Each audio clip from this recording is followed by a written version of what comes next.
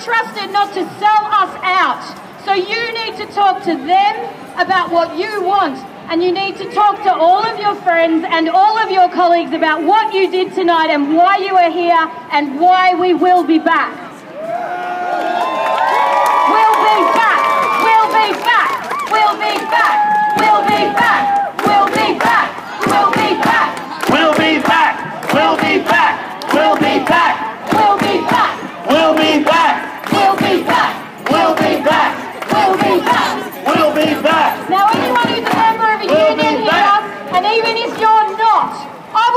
To put it to this crowd that I would be willing to stop work for a day to fuck this budget and to save Medicare. Stop work to And fuck the I budget. wonder, I want all of you who are in unions to tell your unions that you want to go out on strike. And I want